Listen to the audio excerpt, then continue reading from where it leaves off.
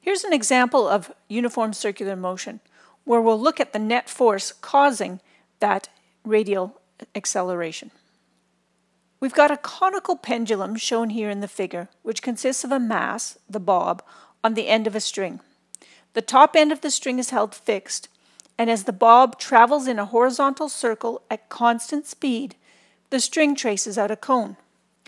For the pendulum shown, we've got a mass of 1.95 kilograms, the length of the string is 1.03 meters, and we've got an angle equal to 36.9 degrees.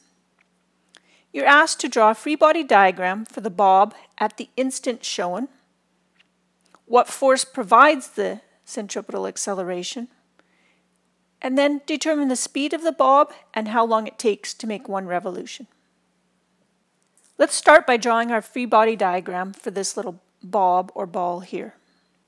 On that bob, we've got a tension that is acting like this and I've got a force of gravity acting downward. And so I need to recognize that that tension has components, an x and a y component. Here's my y component. And if I recognize that the line drawn on the figure over there shows this angle is theta, that means this angle here is also theta. And so my y component is just a positive t cos theta. And my x component, which I'm going to draw up here, is equal to a positive t sine theta. And I've defined my axes here for the particular instance that we're looking at in the figure. Let's start off by looking at the sum of the y components. I've got a t cos theta and a negative mg acting downward, and the, there's no acceleration in that direction. And so using that expression, I can actually solve for my tension. I'm going to rearrange this equation. And so I know that my tension is then my mass, 1.95 kilograms, times 9.8 meters per second squared, all divided by the cos of 36.9 degrees. And that will work out to give me a value of 23.90 kilograms meter per second squared or 23.90 newtons. For now, I'm going to leave it as kilograms per meter squared. And so now I should recognize that it's this x component of the tension that's acting inward or radially that is going to keep the bob moving in a circle. And so I'm just looking at a, a, snapshot of it here. As it continued with time, it would always be pointing inward. And so it would continue to apply a radial net force or a radial acceleration. And so the velocity will keep moving tangentially in a circle. Let's look now at the sum of my x components of my forces. And remember, I'm focusing on just this uh, snapshot in time for which I've drawn the free body diagram here. That changes if we watch it around in time. And so we're only looking at it at one particular instance. So this is going to be my Tx, my x component of my tension, and it's that that's giving me my acceleration. And so it's a t sine theta that is giving me my centripetal acceleration and my tangential velocity. So I'm just signing for solving for my velocity now, where I have this expression. And I'm using r, and so I'm actually going to take the space to go up here and say, looking at that, I know that r is just going to be equal to L sine theta. And so that works out to be 0.618 meters. I'll use that value then. I've got my tension from up above. I figured out the value of 23.90 kilograms meters per second squared. And I've got the sine of 36.9 degrees. All of that over my mass of 1.95 kilograms. And I should recognize that because I've taken a square root, I really have both a positive and a negative value to consider. And so I get a positive negative 2.13 meters per second. So you'll notice my kilograms canceled. I had a meter squared per second squared and I took the square root of that. So my units are good.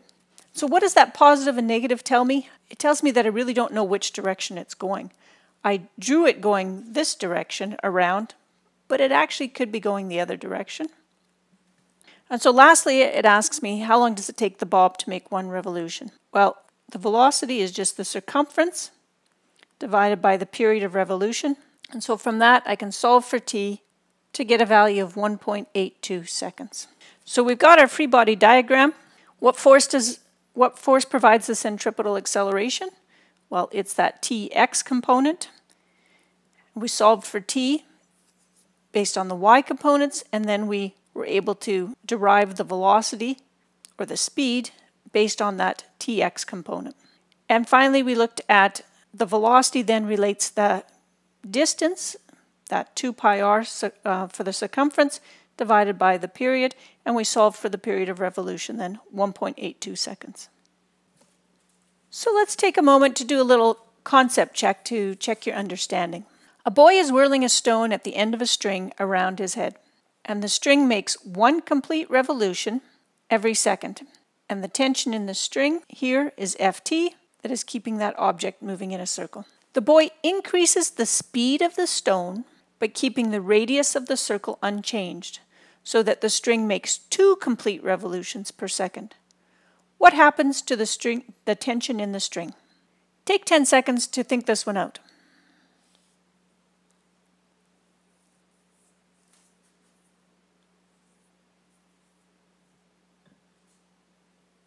So what force here is giving us our acceleration?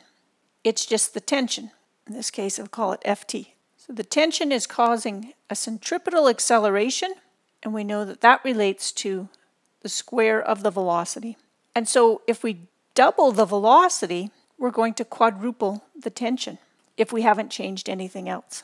And so the tension increases to four times its original value. So I'll add to that, what is the resulting frequency of revolution and what is the resulting period of revolution? Well, let's look at before and after.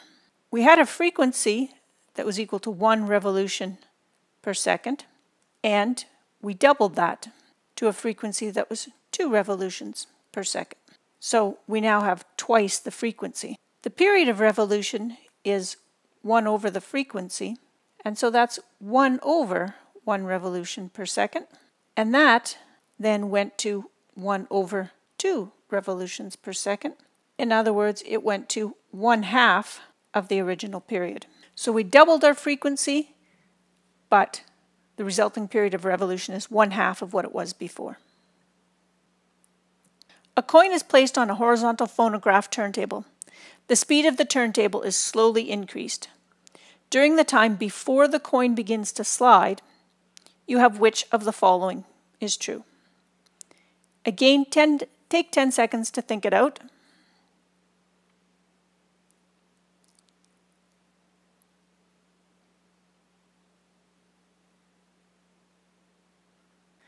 Okay, let's take a look.